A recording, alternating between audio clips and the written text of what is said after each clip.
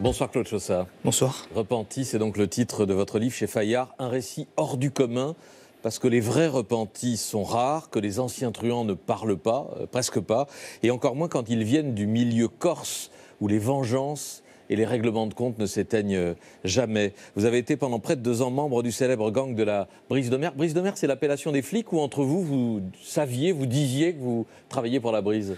En fait, la Brise de Mer, c'est euh, le nom de ce gang que la police euh, a attribué euh, dans les années 80 mmh. et qui est resté euh, dans, toutes les paroles en Corse. Alors en réalité, vous avez été l'homme à tout faire d'un parrain corse, Francis Mariani, connu, dites-vous, pour être le plus violent et le plus fou de tous. Une fois après un crime, il dit bah, J'en ai déjà tué 54, alors un de plus. C'est ça, exactement. C'était c'était quelqu'un qui était vraiment très très craint au, sein de la brise de mer. Euh, lui, en fait, euh, ne voulait pas euh, être aimé comme certains de, ses amis.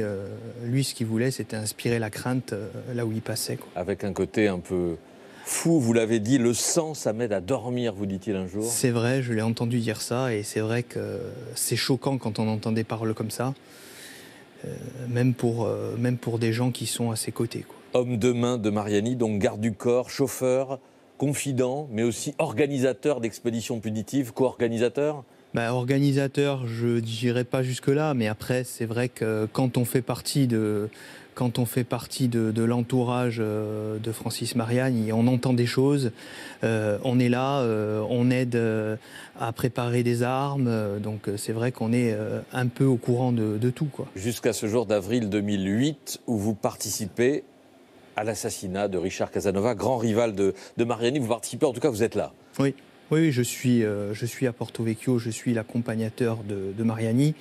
Euh, bon, après, euh, le parquet maintient sa thèse d'un assassinat, alors que la rencontre Mariani-Casanova, c'est tout à fait fortuit. Donc, il n'y avait aucune préméditation ce jour-là. Nous étions à Porto Vecchio pour toute autre chose.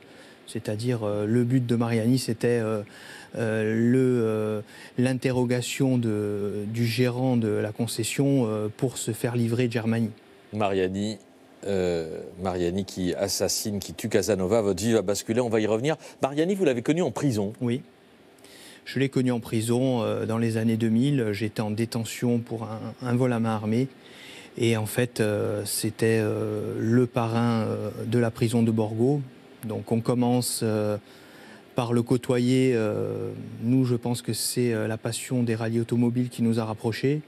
Et ensuite, euh, on rend un service, on lui garde son téléphone portable parce que les voyous ne veulent pas se faire attraper avec un téléphone portable en prison parce que ça peut être pour eux un transfert. Et après, on nous fait confiance de plus en plus et, et ça s'enchaîne très très vite. Quand vous le revoyez après la prison, vous venez de vous faire arnaquer, il vous dépanne de 50 000 euros, vous êtes euh, redevable. C'est comme ça que vous entrez à son service, que vous, devenez son homme de confiance, ce qui n'est pas banal parce que vous ne vous connaissez pas depuis longtemps, mais aussi ça vous rend fier. Vous parlez d'un sentiment euh, nouveau et inégalé de toute puissance. Ah oui, c'est un sentiment nouveau parce qu'en fait, euh, se promener en Corse avec des personnalités comme l'était Francis Mariani, ça ouvre énormément de portes. C'était quelqu'un qui était euh, craint. Et par contre, euh, il y a des choses qu'on ne mesure pas, c'est-à-dire que effectivement, ça donne un sentiment de, toute puissance, mais c'est pas la réalité des choses. La réalité des choses, c'est derrière ça un engrenage, un engrenage mortifère dans lequel on n'arrive plus à se retirer. Il y a la mort, les assassinats, mais aussi le business, parce que vous voici dans les réunions de la brise de mer à côté des grands parrains, et là, vous expliquez en détail dans le livre d'où vient l'argent, l'immense fortune de la brise de mer, euh, un vaste racket immobilier en fait. Expliquez-nous. Bah, en fait, euh, la brise de mer, c'était une organisation qui euh, avait comme principal revenu l'argent du racket. Mmh c'est-à-dire le racket des commerçants, euh, restaurateurs, euh, boîtes de nuit, promotion immobilière. Mais après, ça allait encore plus loin, c'est-à-dire qu'ils euh, étaient, entre guillemets, patrons fictifs de sociétés de BTP. ils faisaient en sorte que ces sociétés de BTP aient des marchés publics de collectivités qui leur soient attribués et ensuite les sociétés reversaient un pourcentage derrière. Tout ça sous la menace, sous la terreur, dès qu'il y a une transaction la brise de mer impose un intermédiaire, une participation entre guillemets au, bénéfice. La brise est informée de tout. Écrivez-vous toutes les opérations. Bah, la brise est informée de tout parce qu'à un moment donné, euh, c'est la brise qui a le contrôle des machines à sous en Corse. Et chaque fois que les enquêteurs euh, font une descente euh, pour récupérer des machines à sous dans les bars, les machines ne sont plus là. C'est-à-dire qu'ils ont été prévenus 48 heures à 72 heures avant qu'une opération policière devait avoir lieu. Et ça leur permettait justement d'enlever les machines et, et, que personne ne soit inquiété. Informer aussi des opérations de police à venir. Bien sûr. Il y a des taupes dans la police. Il y a des taupes dans la police. Il y a de, très bons enquêteurs en Corse euh, qui ont euh, justement participé euh, à faire le ménage contre ces taupes, parce que ces taupes cassent leur travail. Mais après, il y a eu des taupes, il y a eu des taupes rémunérées, voilà, des flics ripoux. Autre source de revenus, les cercles de jeux, notamment les cercles parisiens, revenus mensuels 1 à 2 millions d'euros. Bon, ça a été démantelé, c'est une affaire connue euh, euh, ici. Mais vous, vous touchez un salaire et pas un gros salaire, pas un très gros salaire. Non, parce qu'en fait, euh, nous, nous faisons partie de l'entourage de Francis Mariagne, mais la brise ne, partage pas, ne partage pas son argent avec les autres, c'est-à-dire euh, ils partagent euh, l'argent entre eux, mais après chaque membre de la brise qui se fait aider par euh, un noyau doit assumer ce noyau. Voilà. Et après, c'est vrai que c'était en fait leur façon de, de nous retenir un peu, parce qu'en fait, si on touchait vraiment un gros salaire et qu'on devenait indépendant, bah, peut-être qu'un jour on devait les lâcher. Donc c'était un peu la, la, façon de nous retenir. Vous êtes arrêté en 2009, pas pour un crime ou pour une participation à un crime, mais pour abus de biens sociaux. Passé trois ans en prison. En prison. Et euh, c'est là que vous vous décidez à parler. Euh, vous avez osé parler. Pour quelle raison?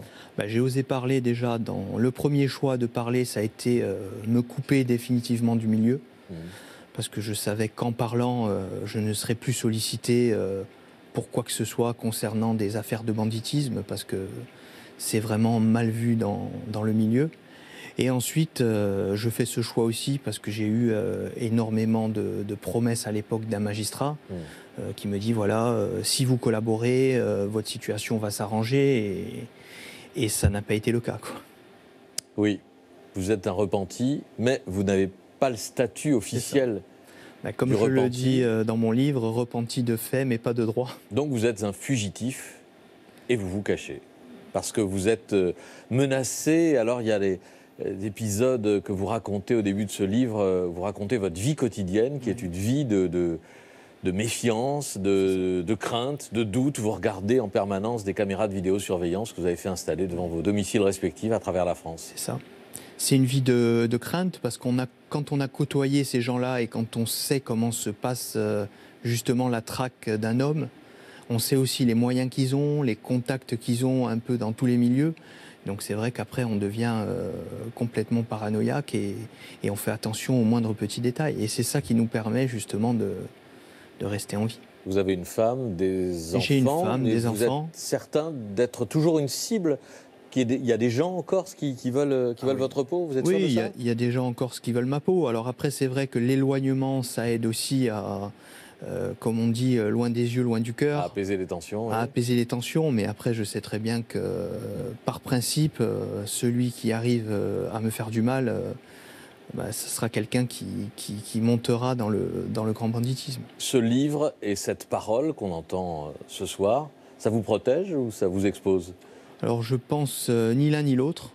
Parce qu'en fait, moi, ce livre, il est fait aussi pour que euh, j'espère euh, les langues se délient un petit peu en Corse et toute cette euh, gangrène cesse.